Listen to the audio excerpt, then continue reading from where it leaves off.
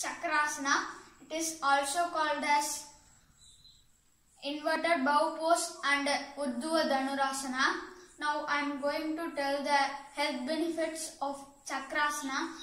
It increases the flexibility of spine and muscles, muscles of hands and legs.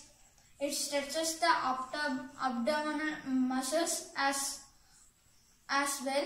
The lungs are also stretched in the posture, hence, it increases vital lung capacity. It increases digestive function and made its spine fit, reduce stress and of uh, routine work. For doing this chakrasana, first sit like this and lay floor and then take your hand in front and then lift your body slowly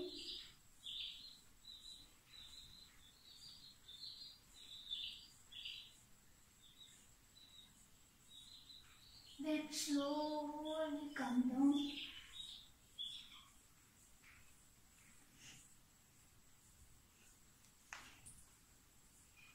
This is Chakrasana. Then I am going to tell Padmasana.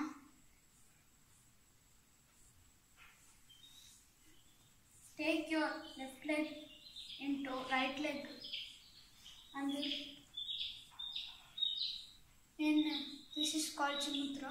Do like this in two hands.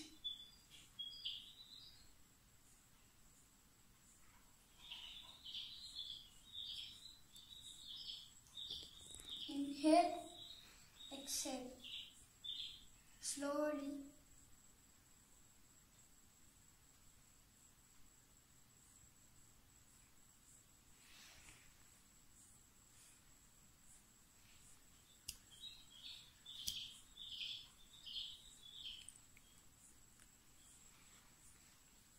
Enough. You can do this daily at morning 6 o'clock or 5 o'clock. This is health to our body. Thank you.